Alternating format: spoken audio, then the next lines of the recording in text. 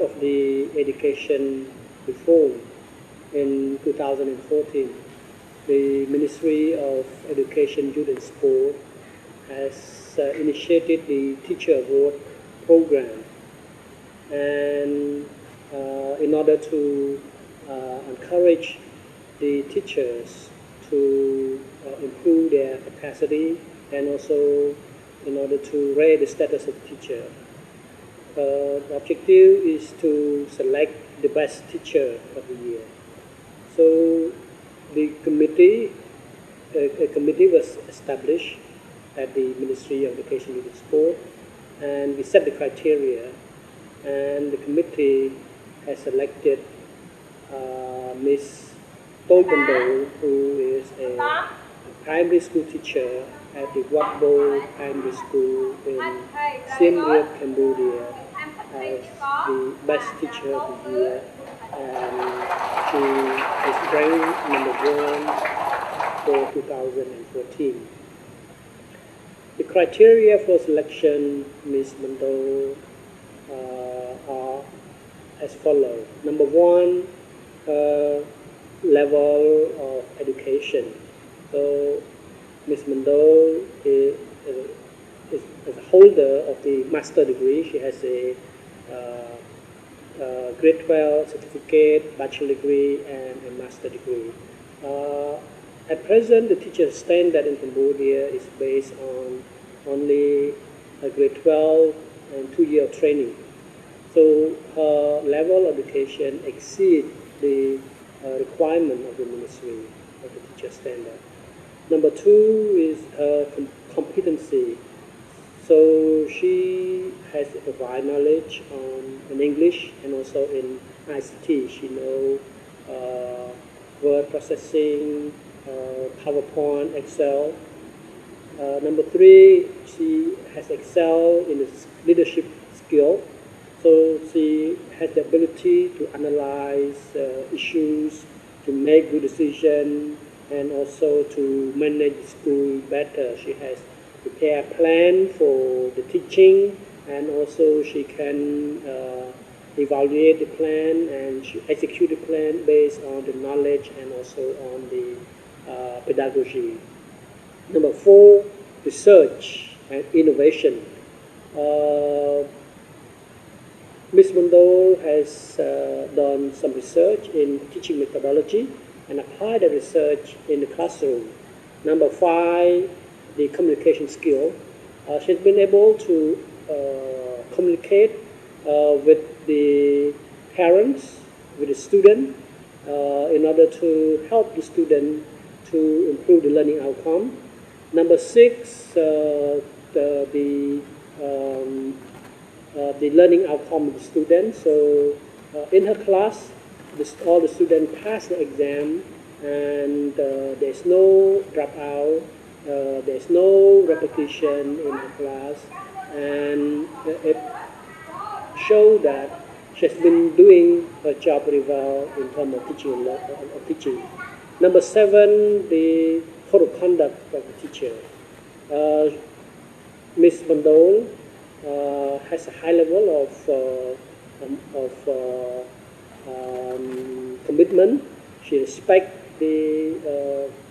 the, the, uh, the rules and regulations of the school, the timing, and she also uh, uh, displays solidarity with the peer teacher and also uh, empathy toward the student. So, based on the seven criteria, uh, Ms. Mandol has been selected the, the best teacher for 2014 in Cambodia. Um, at the same time, uh, she also uh, other uh, uh, values to, to become the best teacher. Uh, for example, uh, she has been using the student-centered approach to teaching, and the attention is given to poor teacher, to slow learner,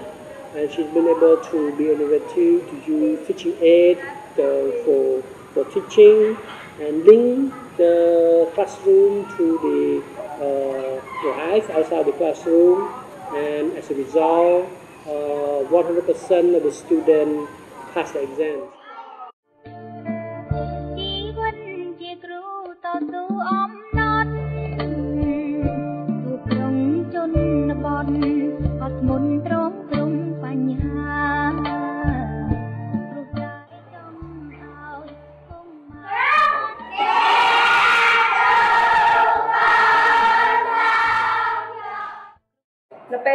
ចង់ធ្វើជាគ្រូបង្រៀនព្រោះខ្ញុំគិតថាអឺប្រទេសកម្ពុជាទៅនឹងរួចផុតពីអឺរបបបល្ល័ង្កទូរស័ព្ទពលពតអញ្ចឹងធនធានមនុស្សគឺជាកត្តាសំខាន់បំផុតសម្រាប់អភិវឌ្ឍប្រទេសជាតិខ្ញុំមានប្អូនទូទៅច្រើនអញ្ចឹងអឺការឆ្លាញ់ក្មេងគឺជាចំណងចំណូលចិត្តរបស់ខ្ញុំឃើញក្មេងៗគឺគួរឲ្យស្រឡាញ់ហើយមួយទៀតយកខ្ញុំឪពុកខ្ញុំ ពីដើមមកគាត់ក៏ជាគ្រូបង្រៀនម្នាក់ឃើញពេលដែលគាត់អញ្ជើញទៅណាគឺមានការគោរពស្រឡាញ់រាប់អានពេលដែលគាត់ផ្ដល់ឲ្យយោបល់ឲ្យអ្នកដទៃអ្នកដទៃស្ដាប់អឺសម្ដីរបស់គាត់អញ្ចឹងធ្វើឲ្យខ្ញុំចាប់អារម្មណ៍កាន់តែស្រឡាញ់មុខវិជ្ជានេះថែមទៀតហើយអឺខ្ញុំអាចនិយាយមួយទៀតគឺទេពកោសល្យរបស់ខ្ញុំគឺខ្ញុំអាចមានន័យថាបោះ50គឺអាចនិយាយបានច្រើនហើយអឺ ពេលខ្លះខ្ញុំអាចទំនាក់ទំនងជាមួយអ្នកដទៃបានល្អប្រសើរអញ្ចឹងខ្ញុំគិតថាបើសិនជាខ្ញុំខ្លាចជាគ្រូបង្រៀនម្នាក់ខ្ញុំមានផលប្រយោជន៍ច្រើនព្រោះខ្ញុំអាចផ្ដល់ចំណេះដឹងរបស់ខ្ញុំឲ្យសិស្សបានពិសេសខ្ញុំអាចមានអឺគំនិតអាចបញ្យល់សិស្សធ្វើយ៉ាងម៉េចឲ្យពួកគាត់យល់បានច្បាស់កាន់តែច្បាស់ថែមទៀត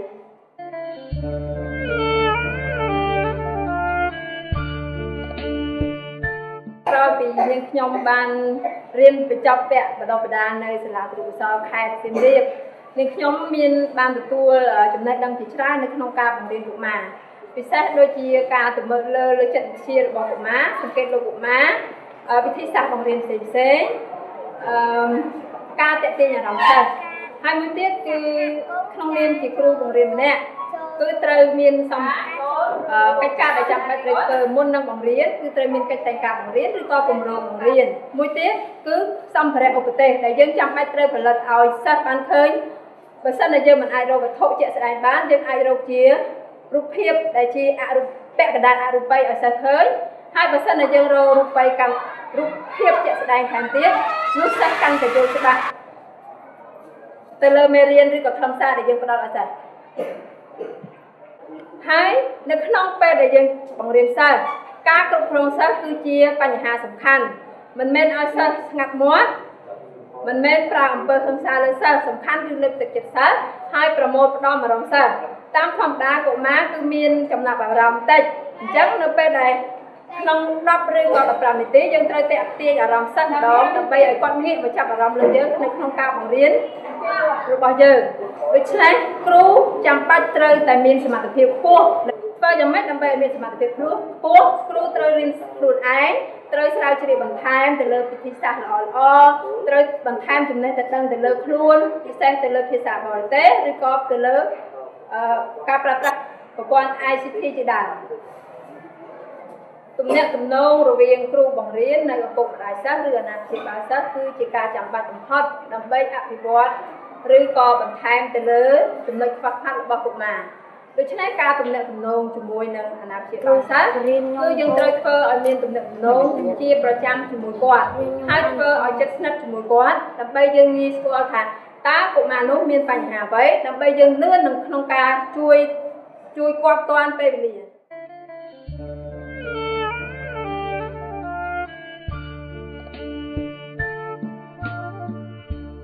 សម្រាប់ខ្ញុំសិស្សប្រៀបដូចជាវាជាសំណាប អញ្ចឹងយើងត្រូវមើលសិស្សឲ្យបានគ្រប់ជ្រុងជ្រោយសិស្ស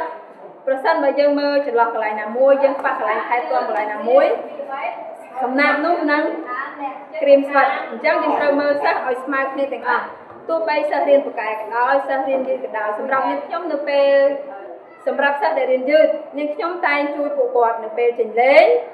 ហើយគាត់មកអានសភៅជាមួយនាងខ្ញុំជួនកាលឲ្យគាត់បានអានបានពាក្យឬក៏រៀបល្បះជាល្បះ ជួនកាលយើងអាចឲ្យសិស្សពេលខ្លះនាងខ្ញុំអត់មានពេលវេលាសម្រាប់ជាមួយគាត់ទេព្រោះមានកិច្ចការដែលធ្វើផ្ទាល់ខ្លួនខ្លះដែរអញ្ចឹងឲ្យគាត់សិស្សដែលបកែគឺជួយទៅលើសិស្សដែលរៀនយឺតមានន័យថាឲ្យសិស្សដែលបកែនៅក្នុងថ្នាក់ជួយសិស្សជួយបន្ថែមនិស្សិតដែលរៀនយឺតប៉ុន្តែមិនមែនជួយរៀងរាល់ម៉ោងចេញលេងទេគឺម៉ោងយើងកំណត់ពេលថា ម៉ោងចេញលេងពីប្រហែលជួយគាត់ម៉ោងពេលណាអាចជួយគាត់បានហើយពេលហើយពិសេសមួយទៀតគឺយើងជួយនៅពេលដែលយើងកំពុងបង្រៀនគឺជាបញ្ហាសំខាន់បំផុតព្រោះនៅពេលនោះសិស្សគឺអត់យល់ច្បាស់នៅពេលនោះយើងត្រូវបញ្យល់គាត់នៅឲ្យទាន់ចំណុចនោះគឺជាចំណុចល្អមួយក្នុងការជួយសិស្សរៀនយឺតការសិក្សាទាំងមូលរបស់សិស្សហើយវាក៏ជួយដល់ការរៀនបានទាន់កម្មវិធីរបស់ក្រសួងអញ្ចឹងបើសិនតែយើងផ្ដល់ឲ្យសិស្សអត់ ចប់កម្មវិធីរបស់ក្រសួងទេសិស្សនឹងមិនទទួលបានចំណេះដឹងពិតប្រាកដនោះឡើយដូច្នេះគ្រូត្រូវគោរពពេលវេលានៃការបង្រៀនឲ្យបានម៉ត់ចត់បំផុតនៅក្នុងនោះដែរទោះបើសិនតែយើងល្អតែម្នាក់យើងនៅក្នុងអង្គភាពយើងប៉ុន្តែជាមួយមិត្តភ័ក្តិឬក៏អ្នករួមអាជីពជាមួយយើង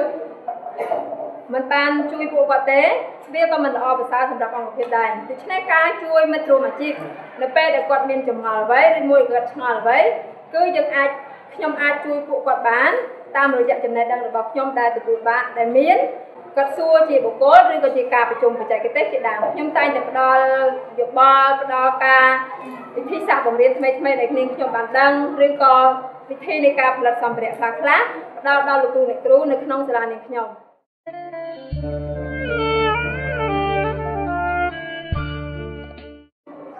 សូមបដិញ្ញាចិត្តថាទោះជាដល់ពេលនេះក៏ដោយការងារតែមួយរបស់ខ្ញុំគឺនៅក្នុងវិស័យអប់រំរហូតដល់ពេលដែលខ្ញុំខ្ញុំចូលនិវត្តន៍ហើយទោះបីជានាងខ្ញុំចូលនិវត្តន៍ក៏ដោយក៏នាងខ្ញុំនៅតែអាចមានទឹកចិត្តជួយដល់គ្រូចំនួនក្រោយដែលគាត់ចង់បានបទពិសោធន៍ពីខ្ញុំគឺខ្ញុំអាចផ្ដល់ឲ្យបានដោយមិនរុញរាហើយនឹងខ្ញុំសន្យាថានឹង ព្យាយាមពង្រឹងសមត្ថភាពរបស់ខ្លួនឯងឲ្យកាន់តែប្រសើរថែមទៀតទៅលើចំណេះដឹងភាសាក៏ដូចជាទៅលើបច្ចេកវិទ្យាជាដើមហើយខ្ញុំនៅតែព្យាយាមខ្លួនខ្ញុំប្រឹងប្រែងអស់ពីសមត្ថភាពធ្វើជាគ្រូល្អជារៀងរហូតអរគុណច្រើន So, so overall, uh, I think that uh, Miss Mondol deserves the award uh, that will be offered but under the uh, Princess um, Mahachakri Sirinthon uh, Award. And uh, this uh, uh, selection is based on her uh, personal quality, uh, competency,